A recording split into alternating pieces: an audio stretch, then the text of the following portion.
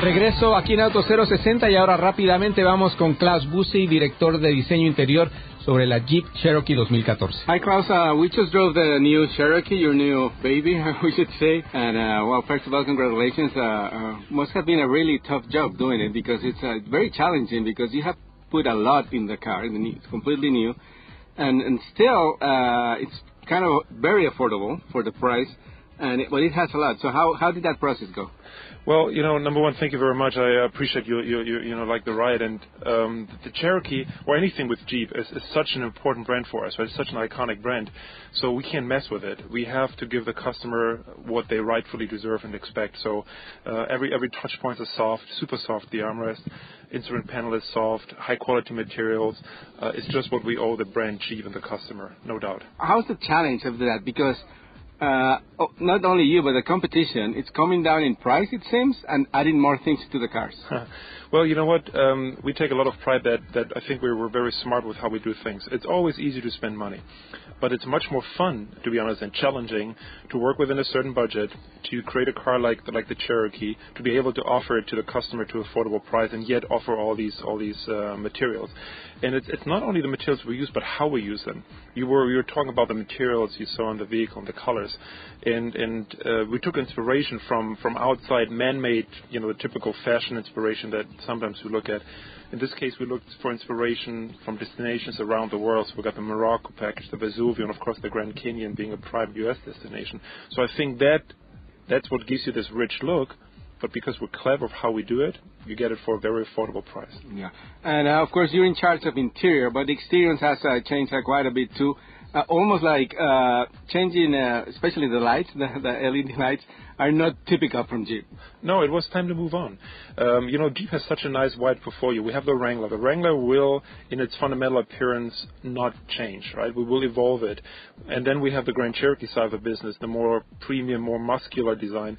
And, and the Cherokee is now orienting, orientating itself more like the, the Grand Cherokee, its big brother.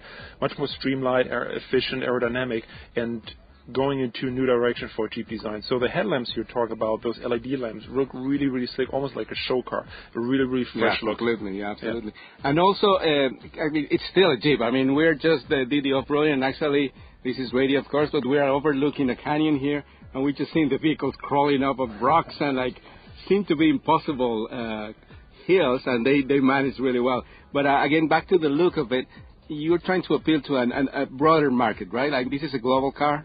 Uh, so that maybe that's why the reasons for the change in design, exterior and interior. It's it's a mix of, of a lot of things, but one of the factors is certainly what you're talking about. Um, you know, we have again with a wide portfolio we have we have for the hardcore fan we have the Wrangler, and and for the Cherokee we're certainly looking for a a, wider audience uh, for this car. So you can use it on road for daily commute, but as you as we can see and, and your your listeners can, we look overlooking this this off-road parcours here, and it's flat out amazing what the car can do. It is it can do the Rubicon Trail, and for those listeners who know what the Rubicon Trail is, that means a lot. Yeah, I've, I've done it before with you guys, thanks to, to Jeep in the past, and it's amazing. And just to give a little bit of perspective, it's more or less an eight-mile trail, and it takes like five hours. that, that, that's right. You, you, can walk it faster than exactly you because you climb like you make a turn and you see like just rocks, and you say, uh, "This car cannot do it," and yes, yeah. the Jeep can yeah. do it, and, and this and, this can too, which is and, proven. Yeah, um, uh, and we have you know we we we have versions within Ch- Cherokee. We have the Limited, which is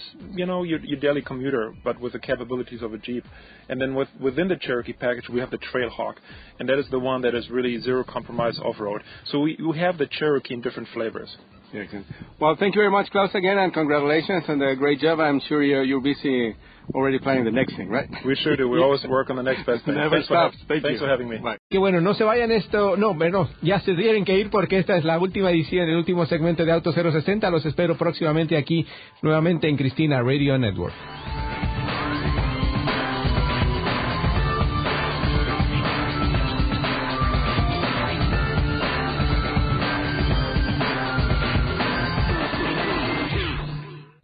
Este programa fue una producción de National Latino Broadcasting.